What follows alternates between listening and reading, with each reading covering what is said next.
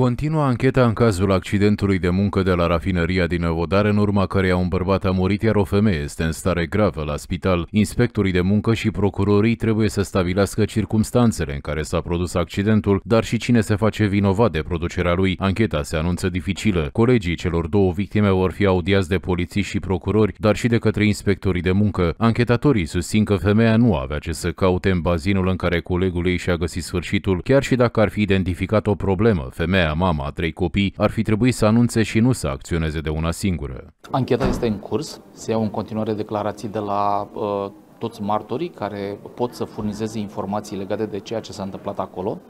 Uh, se ridică documente, se verifică procedurile de lucru, uh, vom face și o serie de măsurători categoric făcute de un laborator autorizat care să confirme uh, o stare de fapt cât mai apropiată de momentul producerii evenimentului și uh, substanțele care ar fi putut să genereze, eu știu, uh, uh, uh evenimentul uh, în care a fost implicat uh, cele două persoane.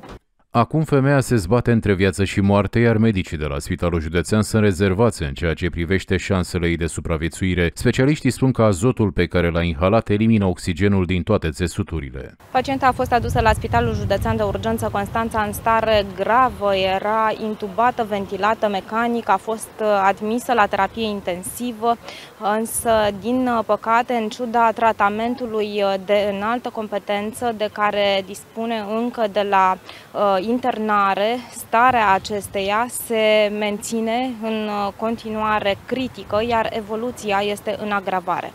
Anchetatorii spun că declarația femeii este crucială pentru a putea stabili exact cum s-a produs evenimentul. De ajutor va fi însă și rezultatul necropsiei bărbatului care și-a pierdut viața. Acesta urma să devină socru peste câteva săptămâni. Astăzi el a fost condus pe ultimul drum de către familie, colegi și prieteni.